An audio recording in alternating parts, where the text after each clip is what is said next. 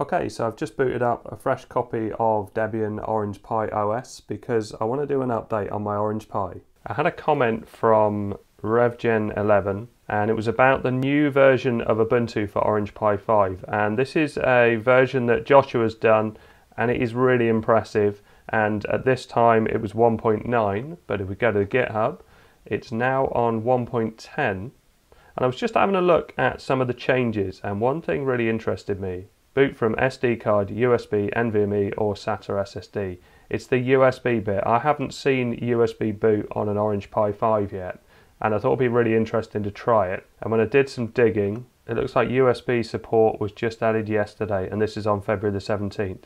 So I need to update the bootloader. So let's close this down and go to settings, Orange Pi config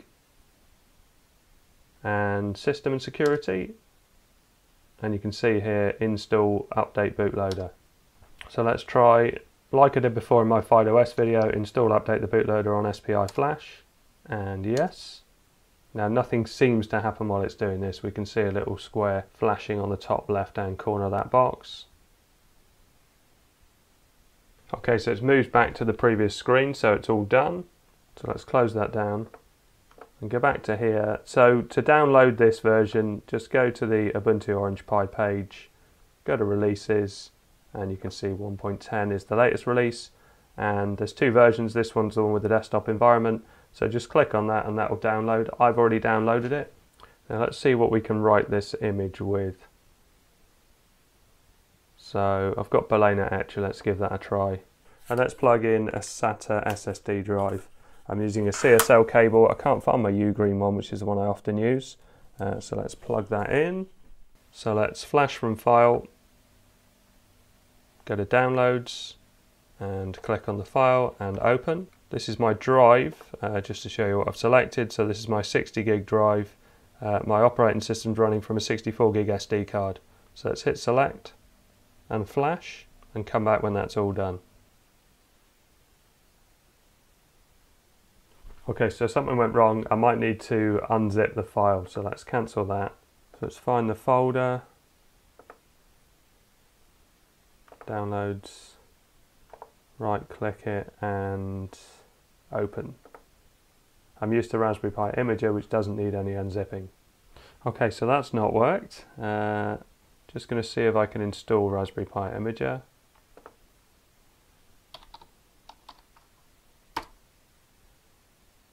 No, unable to locate package. Apt install and archiver. Brilliant. Okay, I don't really use the Debian version of Orange Pi OS, so I'm going to unzip it on my Mac. Okay, so it's just finishing up, and yeah, that's unzipped successfully. I'm going to put that on a USB stick and put it back in the Orange Pi. And let's open up Balena Etcher again. Flash from file, downloads, and this is the new image, 10.7 gig.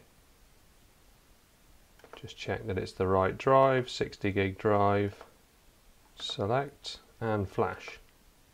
Linux isn't really well supported by the official Orange Pi images, but uh, we've got Armbian and we've got this version of Ubuntu which are excellent. Okay, so that didn't work. Uh, it wouldn't boot from the USB drive, so I've written the image to an SD card, and as you can see, that's booted up because it looks like there's another step you have to do to boot from USB. So if we go back to the GitHub and we scroll down.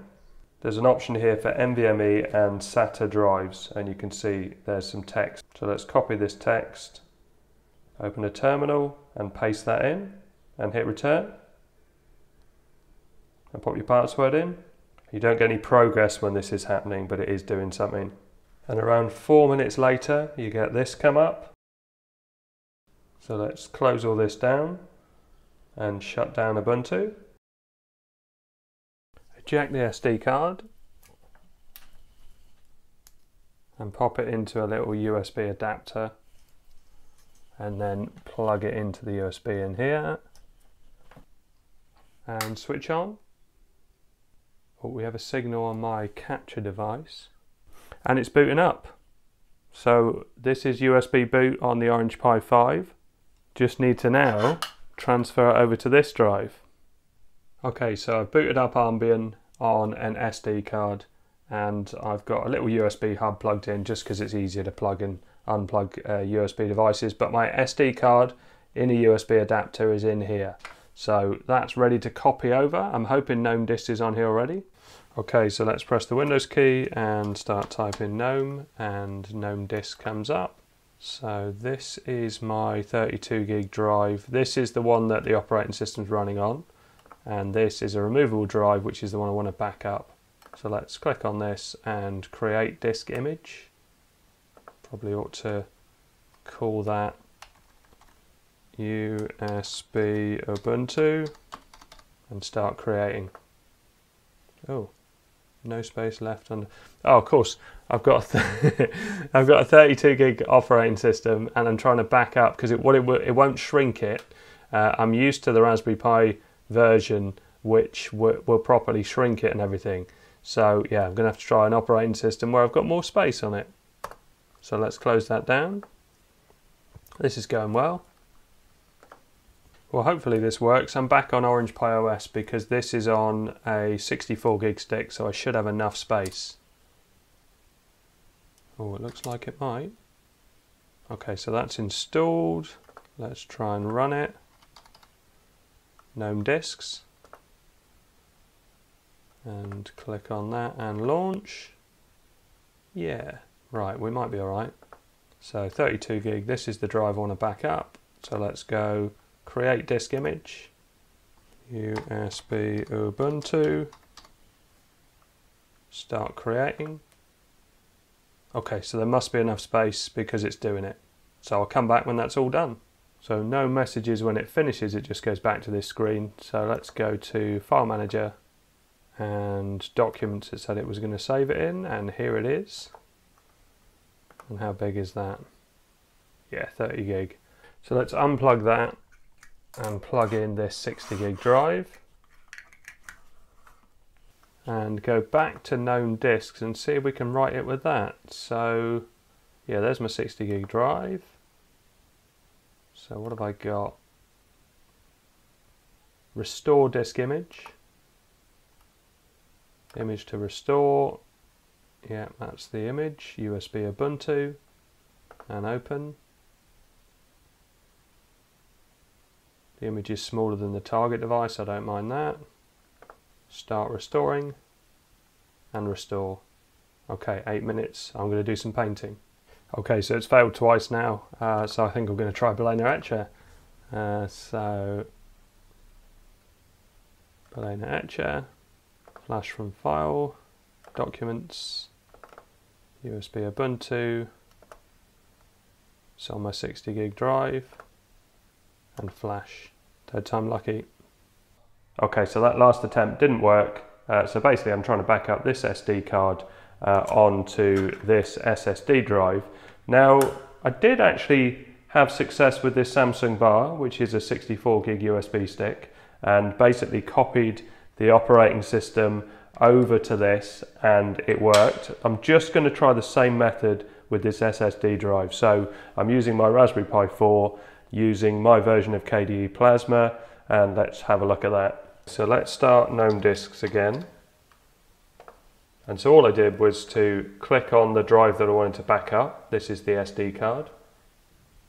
Click on create disk image and then just did start creating. And that image is on the desktop here.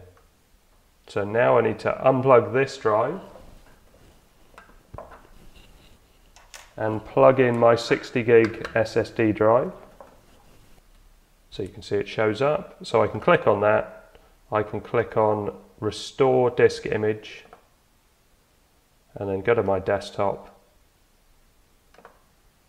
and open and start restoring. And restore and let's come back when that's all done. And hopefully it'll work. As I say it's working on the Samsung bar which is a USB device so I don't quite know why it wouldn't work on a SATA device. I'm also using my CSL cable which is very compatible okay so that should have written the operating system to this drive now so let's shut down my Pi Raspberry Pi and transfer this all over. So switch off. Will that drive this drive? Okay, let's switch on. And hopefully the green light will start flashing fairly soon. No, definitely doesn't like it. So I'm just going to try my other SATA cable just in case. So I'll try it with a shorter one. No, also doesn't work with this shorter one either. But if I turn it off, plug in the USB stick, which is written in exactly the same way, 64 gig USB, Samsung bar, switch it on, and it started to flash and it's turned on my screen. And if I log in, uh, the default password is Ubuntu. You can see that it's working absolutely fine from USB. So USB boot is working, but it doesn't like my USB SATA cables, which all work on a Raspberry Pi. Uh, it's certainly nowhere near as easy as uh, USB boot on a Raspberry Pi, which is pretty much write an operating system and boot it up. But obviously the Raspberry Pi has been out for a lot longer Okay, so I hope this helps. Thanks very much for watching. Please like and subscribe.